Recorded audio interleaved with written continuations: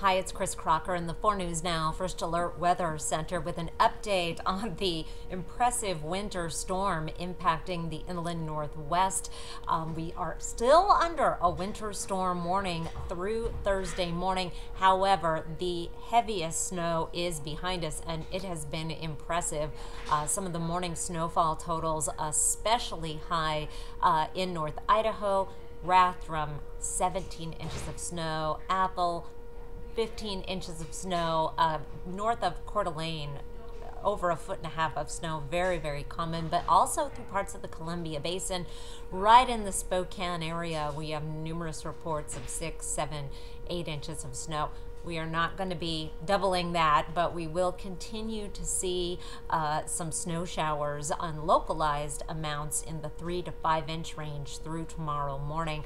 Although our front has pretty well stalled uh, over North Idaho and uh, just the extreme portions of eastern Washington. It is moving slowly to the east. Here's our forecast radar, and it still shows um, some snow around the region and right in the very lowest parts of uh, the Spokane and Coeur d'Alene area, essentially below 2,000 feet. That's downtown Spokane uh, through parts of um, I the I-90 corridor into Spokane Valley, we're seeing more of a rain-snow mix or non-accumulating snow. I-90 is uh, nice and clear this afternoon and should be good through the evening commute. Side streets are another issue. Here is midnight tonight.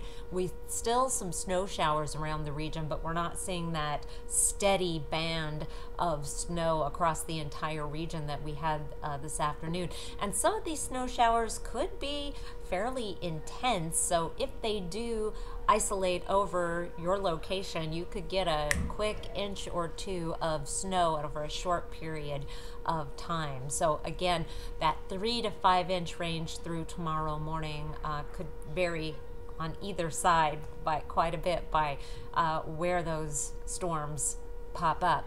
Your 12 hour forecast for this evening. Uh, that snow is going to continue through the evening and right on through the first part of the overnight into early tomorrow morning. Uh, you'll want to keep close tabs on our KXLY.com school closure page because I think it's going to be another day of a lot of school closures. Many of the side roads have not even been uh, touched in the Spokane and Coeur d'Alene area, and there's some deep snow, um, particularly on the higher benches where we never did make the transition over to a rain snow mix.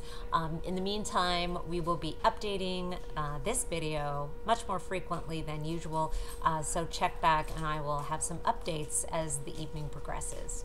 Thanks so much for watching.